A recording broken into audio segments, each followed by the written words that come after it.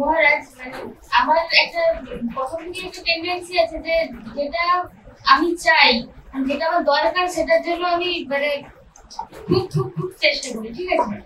তো যাই হোক, এখন হয়তো যে মুহূর্তে এসে আমি একটু বুঝতে পারলাম, তো তখন হয়তো আমার, আমি যে লাইফে ছিলাম, সেটা হয়তো আমার একদমই ভালো লাগতো না। কিন্তু ছেড়ে আসার কোনো উপায় ছিল না। কারণ আমি যদি ওগুলো ছেড়ে যদি এখানে চলে আসতে আমি হয়তো থাকতে পারব না। এটা আমার কোথাও মনে হয়েছিল যে ওগুলো কমপ্লিট না হওয়া পর্যন্ত যদি আমি কোথাও যাই, তাহলে হয়তো আমি ভুল করব। আমাকে ওটা কমপ্লিট করেই আসতে হবে। তো কোথায় যাব আমি সেটা জানি না, কিন্তু জীবনে একটা উদ্দেশ্য ছিল যে এই জীবন তো আর নয়। তো আমি ওই জীবনটা থেকে বেরিয়ে আসার জন্য যাবতীয় কার্যক্রম করছিলাম। যত যত সেই না খেয়ে টাকা জমানো বলুন, যা কিছু বলুন। আমি করেছি কিন্তু কোথায় যাব? সেটার জন্য আমি কিছু কখনো খুঁজিনি যে আমি কোথায় যাব?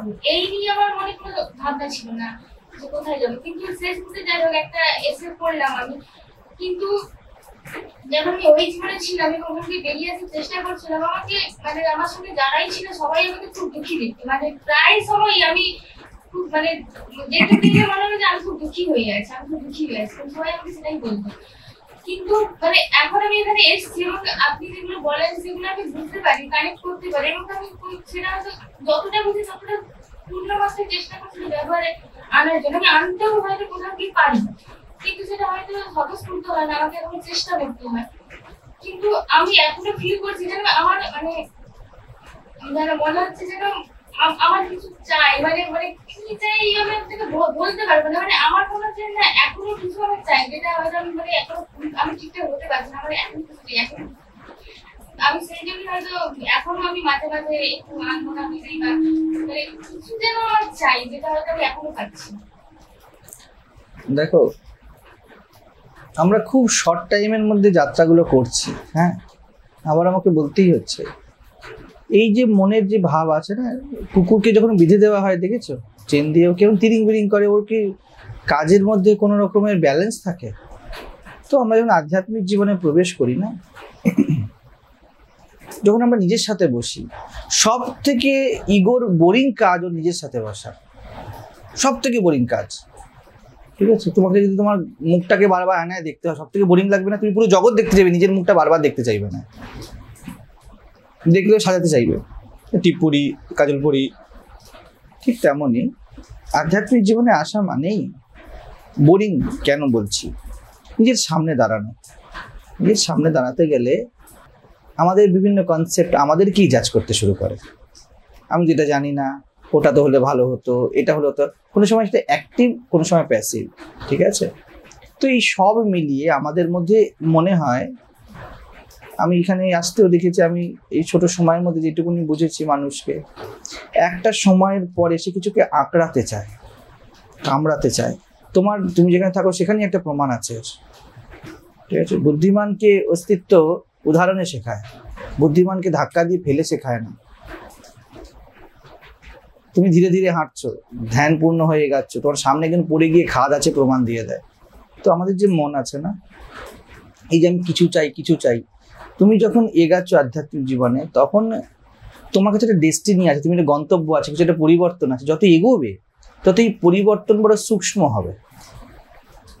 পরিষ্কার কথা, এই যে আমার কিছু চাই আই আমি তো জানি না। ঠিক আছে, আমি কি চাই? এই আনসার্টেনিটির সাথে বাঁচতে শিখতে হবে। কারণ আমরা মূলত আমাদের কিছুই চাই না। না তোমার এখানে আসা খুব ম্যান্ডেটারি ছিল, না তোমার কাজ ছাড়া খুব ম্যান্ডেটারি ছিল না, তোমার ধ্যান করা খুব ম্যান্ডেটারি না, আমাকে শোনা খুব ম্যান্ডেটারি ঠিক আছে? কিছুই ছিল না। প্রকৃতি আমাদের একটা যাত্রার মধ্যে নিয়ে নিয়ে যাচ্ছে। আর এই যাত্রার মধ্যে কে থাকতে চায় না? এই যে প্রবাহটা চলছে, এই প্রবাহে কে থাকতে চায় না? ইগো ইগো মানে স্ট্যাগনেশন তো ও সবসময় চায়, আমায় কিছু দাও, আমি কিছু করি, আবার তাকে যদি দেওয়া হবে বলি, এটা ভালো না। সে কোনোভাবেই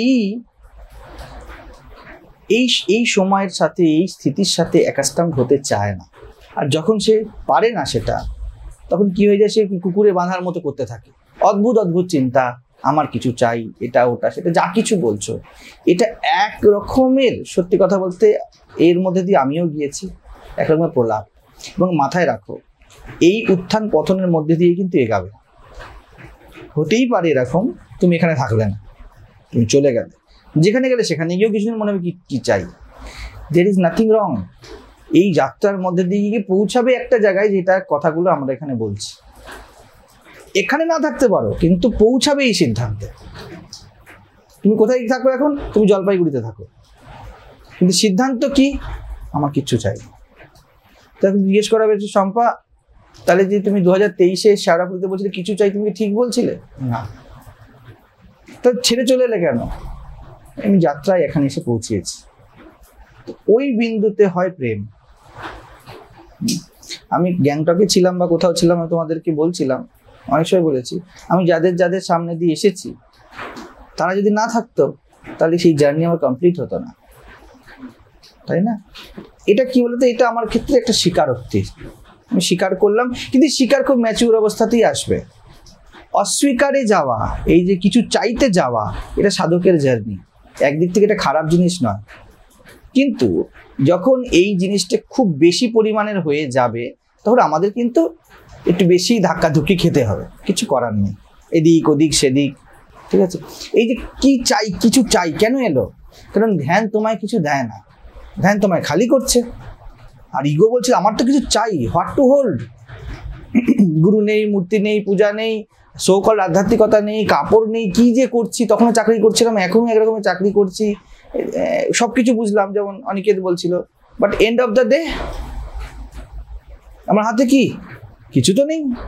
বুঝে যাচ্ছে? এই চাহিদাটা তোমার চাহিদাই নয়, এটা একটা রিপিটেটিভ মেন্টাল প্যাটার্ন ও চায়।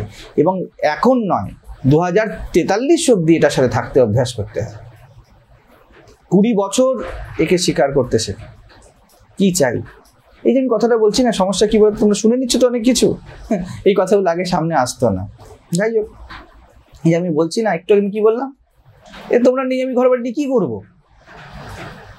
এই কথাটা খুব ভালো লেগে যায়। এরা আমি তো চাই।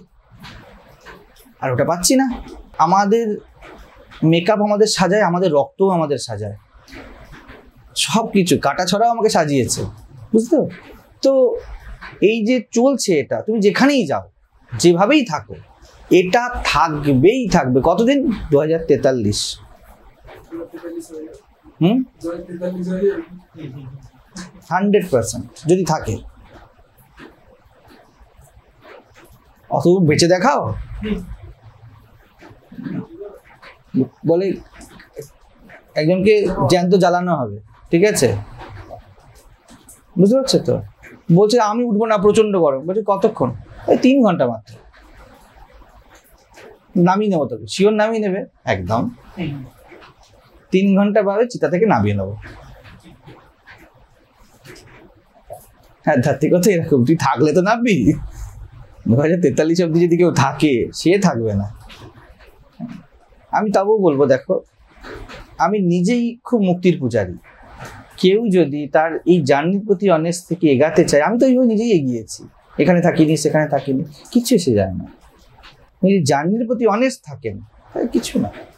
এসব কোনো ব্যাপার না। আবার এবারে আমি কি কি বলব? ডিসঅনেস্ট থাকেন তাহলেও কিছু নয়।